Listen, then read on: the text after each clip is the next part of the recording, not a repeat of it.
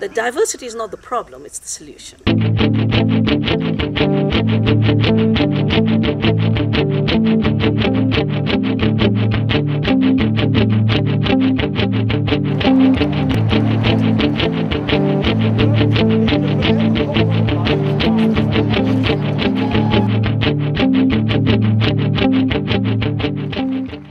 And so the irony is that, that we are being trained uh, into eating less and less variety of food while you know, the different brands are exploding.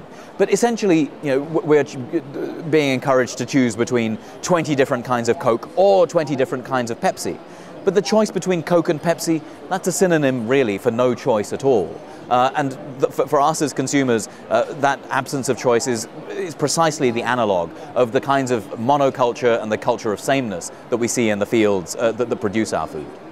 Io ritengo che la biodiversità che c'è all'interno della specie è fondamentale, che c'è sempre stata, non c'è mai stato un unico un'unica specie in un campo di mais, ce n'erano 5, 6, 10 varietà, in un campo di grano ce n'erano 10 varietà. Oggi questo non c'è più.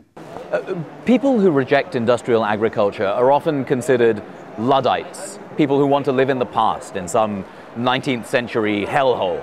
Uh, and yet, of course, the, the, the, truth of the matter is that if you are uh, a proponent, say, of agroecological science, uh, you're, you're, advocating really some of the most complex, uh, cutting edge science that the world has, has ever seen when it comes to agriculture.